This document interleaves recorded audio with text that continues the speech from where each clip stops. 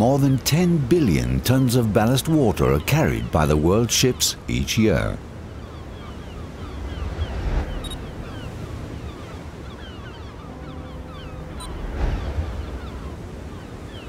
all of them containing thousands of species of aquatic animals and plants.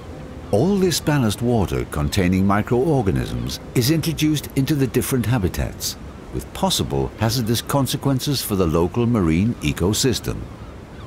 In 2009, leading ship owner AP Møller-Mærsk, leading pump manufacturer DESMI, and leading water treatment specialists Ultra Aqua joined forces and established DESMI OceanGuard AS.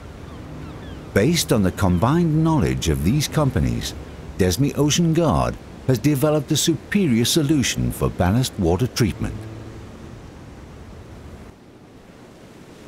DESMI Ocean Guard offers a solution for the removal of living organisms from ballast water, combining high efficiency in all water conditions with low energy consumption. The first treatment step is pressurized filtration. The second treatment step is UV irradiation with low pressure lamps.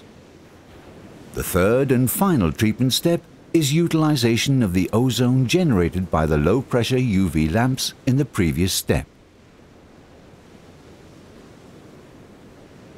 Finally, the treated water is ready to be directed to the ballast tanks. For additional reasons, DESMI Ocean Guard system also treats the water during deballasting. Tests on board vessels have shown that bacteria especially will live and grow inside the ballast tanks. Eggs may be hatched and some organisms may survive and grow during the weeks, potentially months, that pass before the ballast water is discharged. This means that the ballast water will be contaminated by these bacteria and organisms, regardless of treatment prior to entering the ballast tank. The risk of having too high a level of bacteria or organisms is not acceptable to DESMI Ocean Guard.